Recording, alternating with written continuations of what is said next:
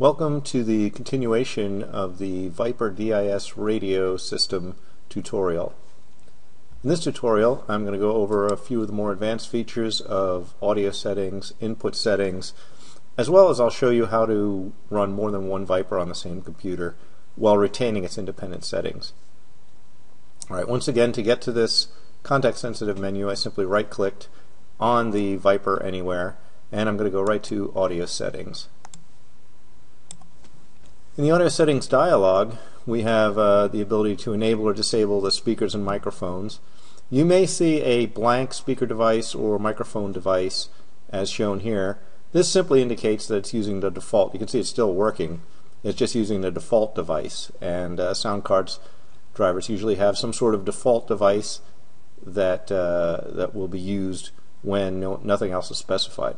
In this case I also have headsets so I'm going to put speakers for my headset. I'm sorry, headset for my speakers, and uh, headset for my microphone device as well.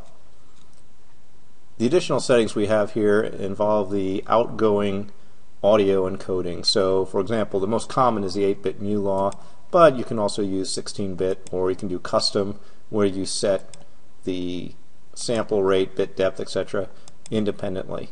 Once again, that only affects the outgoing audio. Whatever format the incoming audio uh, comes in at will be detected by Viper and uh, rendered accordingly. Okay, so that was the audio settings. So let me go to the input settings. And in the input settings, of course, I already have a joystick hooked up. So I'll just go ahead and select my joystick. And I can map the buttons of the joystick to certain actions uh, on the Viper radio. So in this case, I'll select the action. Um, I'll uh, I'll make it act more like a uh, aircraft type uh, VHF radio. And so once I've chosen a selection, uh, an action rather, I can click the set button and now I'll click the joystick button to actually perform the mapping. And you can see it shows you the device, the action, and just an input ID uh, shown here. Um, I will also add another action here. I will increment the first standby channel. And let's also decrement the first standby channel. There you go. Alright, so these should work right now, and so what I'm going to do is actually I'm going to change the active channel to the first one, and I'll be able to swap which channel is active by using the joystick button, clicking it, and I can also increment the inactive channel's frequency right or decrement the inactive channel's frequency.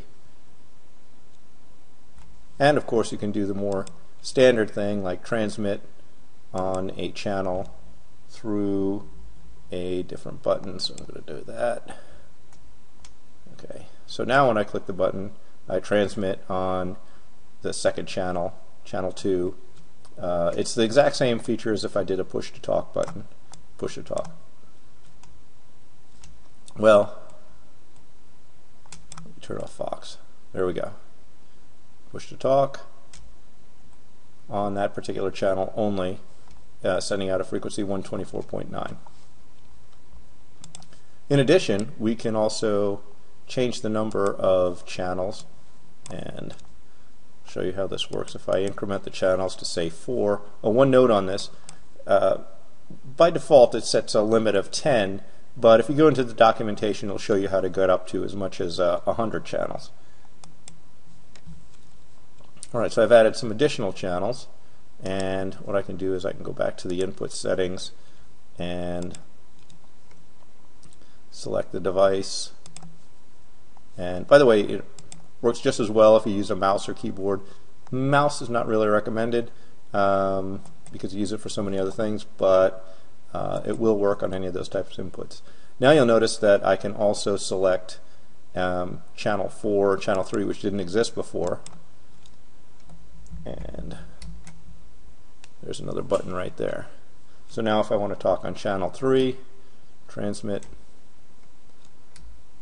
oh, it's uh, won't transmit one note. It will not transmit while scanning, so you have to stop the scanning.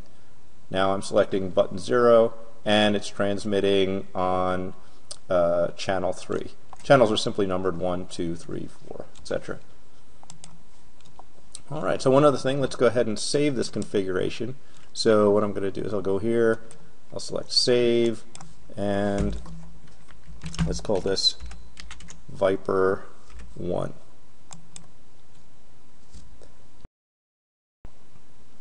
So to save this uh, uh, Viper 1 configuration, I can also just close it and say I have unsaved changes.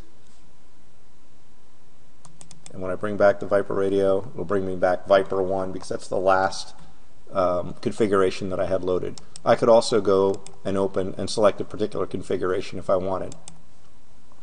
If I want to run two Vipers at the same time, I can just select, this is just another uh, shortcut made to the Viper executable and there's some information in the help on how to set that up. And in this one I can go in here and I can set audio settings and I can set them to be regular speakers for example and desktop microphone.